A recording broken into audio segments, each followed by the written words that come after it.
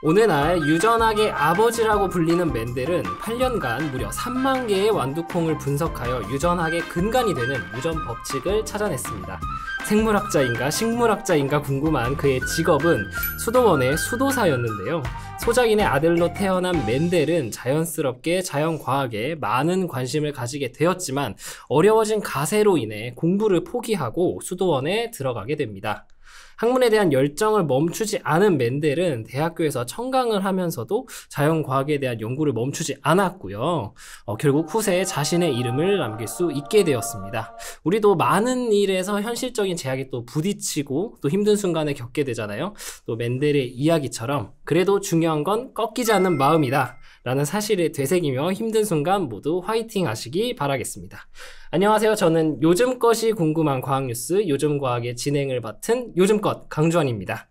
오늘 제가 가져온 과학 뉴스는요. 복제양 돌리도 아니고 DNA 복제도 아니고요. 바로 복제약 바이오 시밀러입니다. 전 세계 누적 매출 1위 의약품인 휴미라의 특허가 만료가 되면서 국내외 다양한 제약회사들이 복제약 바이오 시밀러 출시를 앞두고 있다고 하는데요. 어, 오늘 저와 함께 바이오 similar 얘기를 함께 해주실 국립과천과학관 science communicator로 일하고 계시는 강일의 부팀장님 모셨습니다. 부팀장님 안녕하세요. 안녕하세요. 아, 또 이렇게 요즘 과학에 출연을 해주셨는데 또 국립과천과학관의 science communicator는 어떤 업무를 하시는지 좀 궁금해 하시는 분들도 많을 것 같아요. 또 어떤 업무를 하는지 좀 간략하게 알려주셨으면 좋겠습니다.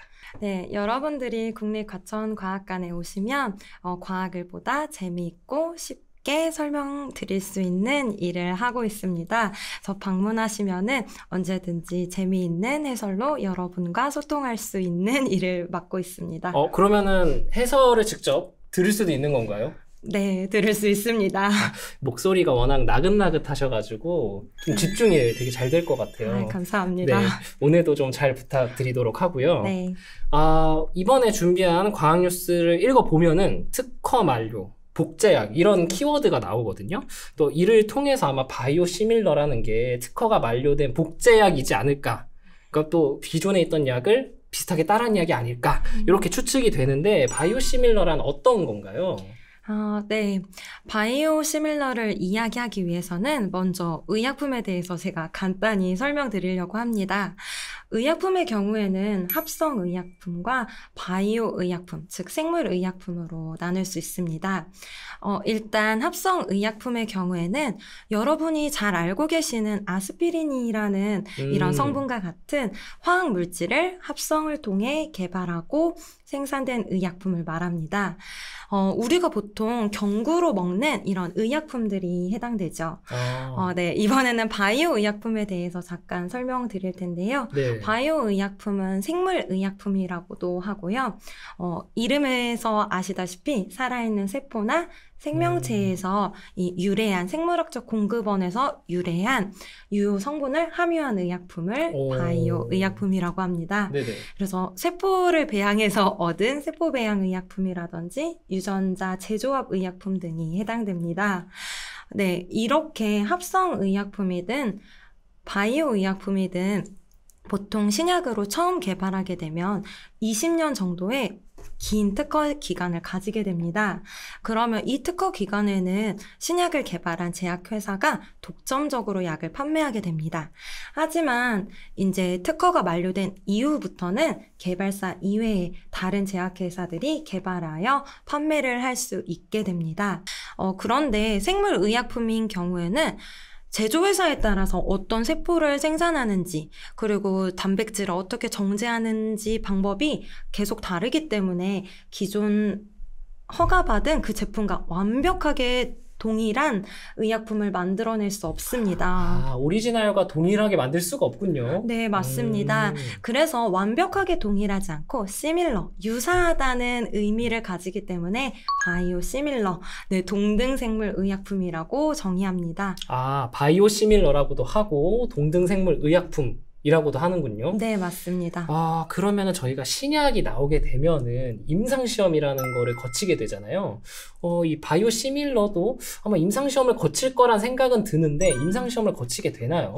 네, 임상시험을 거치게 됩니다. 어, 앞서 바이오similar가 오리지널 처음에 나온 그 바이오 의약품과 완전히 동일하다고는 말씀드리지 않았어요. 왜냐하면 네네. 불가능하기 때문이라고 말씀드렸는데요. 따라서 임상시험을 포함해서 여러 가지 시험을 통해서 그 오리지널 의약품과 어, 그 바이오 기존 제품과 유사한 효과를 나타내는지를 입증해야 합니다. 어, 그러기 위해서는 여러 가지 시험이 필요한데요. 좀 더 자세히 말씀드려 볼게요. 어, 품질 비교 시험, 그리고 비임상 비교 시험, 비교 임상 시험 등을 진행하게 됩니다. 어, 우선은 용어는 어렵거든요. 네. 용어는 어려운데 한번 또 어떤 것들인지 좀 세부적으로 한번 확인을 해볼게요. 처음 말씀해주신 게 품질 비교 시험. 네, 맞습니다. 어, 품질 비교 시험의 경우에는 이제 오리지널 의약품과 그 물리화학적 특성이라든지 면역 화학적 특성, 음, 그리고 순도, 생물학적 활성 등이 유사한지를 평가하는 시험입니다. 어, 이 시험관 내 시험을 통해서 그 단백질의 구조라든지 생물학적 활성화를 비교합니다. 그리고 LC 메스 메스와 같은 이런 복잡하고 민감한 어, 분석 기기들을 사용하고 아, 그걸 통해서 분석법도 사용한 다음 크로마토그램 결과를 비교하고요. 그를 통해서 아미노산 서열들이 기존 의약품과 동일한지 또 함량은 같은지 음. 등에 대해서 시험합니다. 어, 그 다음에 말씀해 주셨던 게 비임상 뭐라고 하셨는데 뭐였죠? 네, 비임상 비교 시험입니다. 네네. 네. 네, 비임상 비교 시험의 경우에는 세포들이 이제 세포 안에서 생리학적인 영향이 어떤지를 파악하고 음. 평가하는 시험입니다. 그래서 시험관 내 실험, 세포를 기반한 실험인 인비트로 실험을 하게 되고요. 음, 그리고 동물의 생체 내에서 하는 인비보 시험을 하게 됩니다. 즉, 동물, 살아있는 동물이나 세포를 기반한 실험을 하는 것으로 보면 됩니다. 어, 여기서 살아있는 동물이라고 하셨는데 여기선 인간은 해당하지 않고 이제 뭐 생쥐나 이런 것들이겠죠? 네, 맞습니다. 네. 궁금해 하시는 게 이제 다음 단계에 나오게 됩니다. 네네네. 네, 3단계는 임상 비교 시험이라고 해서요. 이 때 인체 내에서 약물이 어떻게 흡수되고 대사되는지에 대한 약동학 평가, 그리고 이제 약의 작용 기전들을 확인하고 음. 인체 안에서의 생리학적 영향을 확인하는 양력학 평가 등을 진행하게 됩니다. 그래서 두 약들 간의 생물학적 유사성을 재확인하고 둘의 차이가 없는지를 확인하는 단계입니다. 이렇게 여러 가지의 시험들을 거치고 여러 가지 단계 들을 거쳐서 오리지널 의약품과 이제 비교했을 때 차이가 없고 유사하다는 결과를 받아야지 바이오 similar로 인정됩니다. 아, 이렇게 굉장히 많은 말만 들어도 굉장히 길었거든요. 네. 이런 긴 과정을 거쳐야지 이제 비로소 우리가 먹을 수 있는 또는 투약할 수 있는 그런 의약품으로 탄생이 되는 거군요. 네, 맞습니다. 아, 이제 또 이번에 휴미라 네. 차- 사실 저는 처음 들어봤거든요. 네. 휴미라라는 의약품이 뭐 전 세계 누적 매출 1위라고 나와 있어요. 네. 근데 휴미라라는 게 사실 처음 들어봐가지고 휴미라가 어떤 의약품인지 좀 궁금한데요. 이건 어떤 의약품인 건가요? 어, 네. 이 휴미라라는 제품은, 제품은 글로벌 제약사 에브비가 2002년에 허가를 받았고요. 아, 2002년. 네, 2003년부터 본격적으로 출시한 제품입니다.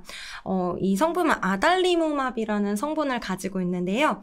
류마티즘 관절염이나 음. 건선 등과 같은 한 15개 종류의 그 자가 면역 질환을 치료하는 아. 치료제입니다. 어, 앞서 설명 주신 것과 같이 2022년도 전 세계 누적 매출액이 어, 한화로 따지면 약 270 조 원 가량의 아주 높은 매출액을 기록한 제품입니다. 어, 제가 알고 있기로는 우리나라가 네. 한 해에 예산이 지금은 조금 바뀔 수도 있는데 550조 정도인 걸로 제가 알고 있거든요. 네, 270조면은 우리나라 한 해 예산의 절반 정도. 맞습니다. 아, 그 그- 정도의 대형 블록버스터급 의약품입니다. 아, 왜 그렇게 지금 바이오 시밀러를 제조하는 회사들이 그렇게 눈독을 들이는지 딱 여기서 알 수 있는 것 같아요. 네, 맞습니다. 어, 그리고 이 휴미라 제품을 조금 더 설명드리면요. 많은 특허를 가지고 있어서 약 20년 동안 독점적으로 약을 판매할 수 있게 되어서 음. 아마도 매출액도 더 컸을 거라고 예상됩니다. 그렇지만 이제 휴미라의 특허가 만료되어서 어, 전 세계적으로 또한 우리나라에서도 휴마, 휴미라의 바이오 시밀러 음. 제품들이 허가를 받았고 이제 본격적으로 출시될 예정입니다. 어, 사실 휴미라라는 조금 모르겠어요. 의약품 쪽에서는 뭐 흔한 이름일 수도 있지만 일반적으로 들었을 때 휴미라라는 이름이 되게 흔한 이름은 아니잖아요. 되게 독특한데 의약품들의 이름을 정하는 걸 보면은 저 같은 경우에는 다 좀 특별한 것 같거든요. 일반적으로 쓰는 용어들은 아니잖아요. 네. 제가 늘 궁금했던 게 의약품들이 왜 이렇게 좀 특별한 이름을 갖고 있는지가 궁금했는데 이게 명명을 하는 어떤 기준이 있는 건지 음. 아니면 제약회사에서 아, 그냥 이 이름이 좋아. 이 이름이 너무 마음에 들어. 그렇게 해가지고 짓게 되는 건지가 좀 궁금한데요. 네. 어, 보통은, 어, 강 주무관님도 생각하신 것처럼, 어, 환자들이 부르기 쉽고 기억하기 쉬운 이름으로 보통 짓습니다. 하지만, 어, 여러 가지 기준들이 조금 있는데요. 보통은 제약회사 이름과 약품의 성분명을 결합한 방식으로 짓기도 하고요. 음. 제약회사가 붙인 브랜드 이름과 성분명을 결합해서 짓기도 합니다. 음. 혹은 그 약의 성분이 치료할 수 있는 그런 효능 효과라든지 적응증과 관련된 이름과 비슷하게 짓는 경우도 있습니다. 적응증이라고 말씀하시면은 어떤 거죠? 아, 네. 어, 잠시 뒤에서 설명드릴 수도 있는데요. 아까 전에 말했던 휴미라 제품도 어, 류마티즘 관절염 혹은 건선 등과 같은 것에 치료하는 것이라고 얘기했잖아요. 그래서 네네. 적응증은 그런 약이 적응할 수 있는 그 병명을 얘기하는 것이, 아, 것이에요. 그러니까 치료할 수 있는 질환 정도라고 저희가 생각을 하면 되겠네요. 네, 맞습니다. 음. 네, 그래서 제가 조금 더 이해가기 쉽도록 예를 들어서 좀 설명드릴게요. 네네. 혹시 케토톱이라는 제품 들어보신 적 있으신가요? 아, 너무 유명하지 않나요? 네. 아마 이거 못 들어보신 분이 없을 것 같고, 또 로고송도 굉장히 유명하니까. 네, 맞습니다. 제가 케토톱이라는 제품으로 좀 설명을 드리려고 합니다. 케토톱이라는 제품은 케토프로펜이라는 성분을 주성분으로 하고 있는 제품입니다. 아, 케토프로펜이 성분의 이름이군요. 네, 맞습니다. 음. 그래서 제가 해당 회사의 직접적인 관계자는 아니지만 아마도 케토톱이라는 제품의 이름은 그 주 성분인 케토프로펜의 앞 글자 두 글자인 케토를 따서 음. 케토톱이라고 반영했을 것이라고 생각이 됩니다. 음. 자료를 보시면은 우선 성분명으로 케토프로펜이라는 성분명으로 지어졌다고 생각 되는 제품들이 다수였습니다. 그래서 케토 S겔이라든지 케펜 겔 이렇게 케토 프로펜에 케와 펜을 따서 아. 네 지은 성분들도 있었고요. 아, 네 네네. 앞에 케토 프로펜에 케토만 따서 지은 제품들도 굉장히 많았습니다. 또 두 번째로는 제약회사 이름을 보통 앞에 성분명 앞에 붙이는 경우가 음. 있습니다. 그래서 예를 들어서 화이트 제약의 케토프로펜 제품이면 화이트 케토프로펜 플라스타라든지 아, 그런 식으로. 네, 아. 맞습니다. 부광약품의 제품이면 부광 케토 프로펜주라고 지을 수 있습니다. 음. 그리고 마지막으로는 적응증 관련돼서 제가 제품명을 지을 수도 있다고 했잖아요. 이 케토 프로펜 성분이 류마티스 관절염과 관련된 어, 효능 효과를 가지고 있기 때문에 류마티스의 앞 글자를 딴 류마겔이라든지 류마켄 플라스타라든지 아. 앞 글자 류마를 좀 따서 온 경우도 있습니다. 아, 주성분이 케토프로펜인 거는 이제 앞서 설명해 주신 게 다 동일하긴 한데 네. 이제 뭐 적응증을 이용할 수도 있고 그 다음에 회사 이름은 브랜드명을 활용하기도 하고 네. 그 다음에 이제 주성분명을 활용하기도 하고 네. 이렇게 좀 다양하게 이름을 짓기 때문에 아마 우리가 저도 그렇지만 거의 들어본 적 없는 좀 특별한 이름의 의약품 이름들이 나오지 않았을까 그렇게 생각이 되는 것 같고요. 네. 어, 이제 다시 바이오 similar에 관련된 또 내용으로 넘어가 보면은 사실 뭐 바이오 similar가 굉장히 시장이 앞으로도 계속 커지지 않을까 음. 싶기는 합니다만 어 사실 쉽지는 않겠죠. 당연히 쉽지는 않는데 제 생각 같은 경우에는 기존에 있던 이 오리지널 의약품을 어 바이오 시밀러로 만들어낼 수 있는 능력이 있다면은 오히려 그거보다 더 좋게 개선된 제품을 내놓으면은 어, 더 좋지 않을까, 돈을 더 많이 벌 수 있지 않을까, 예, 그런 생각은 들거든요. 그런 쪽으로 연구나 뭐 활발히 진행되고 있는 그런 건 없나요? 네, 연구가 활발히 진행되고 있습니다. 아, 그렇군요. 네. 네, 어, 기존의 이런 바이오 의약품의 지속성이라든지 효능 효과 혹은 제형이라든지 부작용 등을 개선시켜서 만든 바이오 better라는 네, 제품이 있습니다. 아, 바이오 better요? 네, 음. 바이오 better라는 것이 있는데요.